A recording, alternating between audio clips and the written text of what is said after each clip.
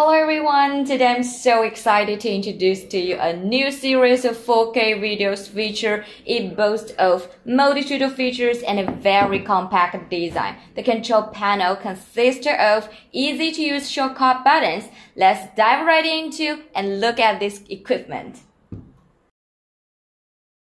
At the back, you will find four HDMI ports, line 1 and line 2 supporting 4K input, and this one is a HDMI output, which is PGM. Also, we have a AUX is an external input. For video storage and recording, we have SD and USB slots, and also USB 2.0 supports the upgrading of the firmware. The UVC is for the streaming and the lossless output, and the LAN is for the internet, and this small pole is for the power supply. Look at here, these two small poles are for the microphone input, and the last one is for the output of the voice and monitoring of the voice.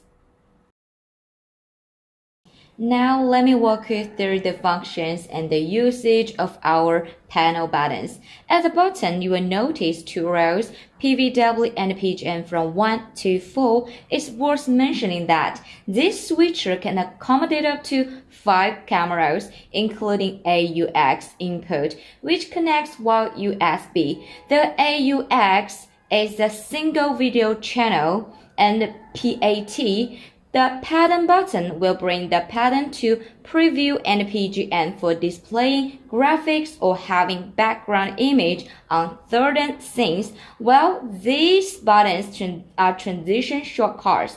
There are 30 different transition effects available in the operation menu. For rapid switching, you can use the Alt button Yes, or T-bar. This is a feature I personally find exceptionally impressive.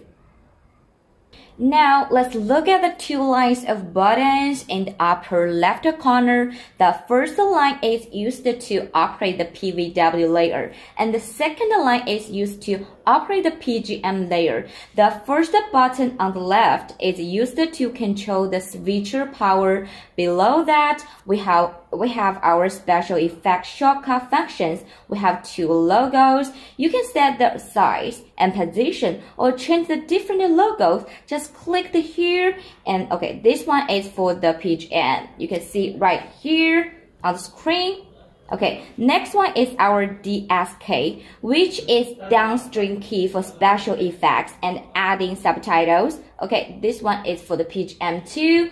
Okay, the next two are PIP1 and PIP2. And the position and the size can be changed through operation menu right here. Most importantly, the PIP videos can be switched from different video sources Okay, this one for the PGM layer 2.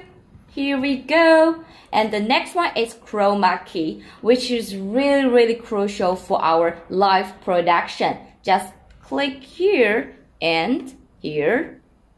Okay, I'm gonna show you one by one, okay? This is the chroma function, okay? And this is cam button. It allows you to control up to four cameras simultaneously.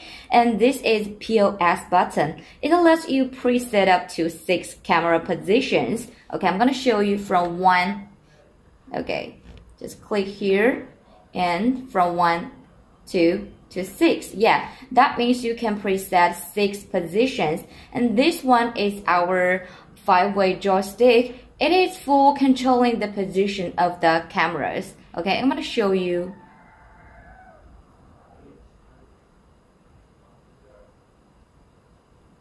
Okay, and these two buttons are for the uh, zoom in and zoom out of the cameras. Okay, so let's move on to the last line of the buttons. The first one is rec button. It's definitely for the recording and the, this second one is for the streaming. And these three buttons are for the pausing and playing back and switching between different aux videos. Um, yeah, in this video, we're not going through all the menus that device offers. So yeah, that's basically what we have in this video. For more usage of functions, please feel free to check our instruction or consult our technical staff. So bye bye.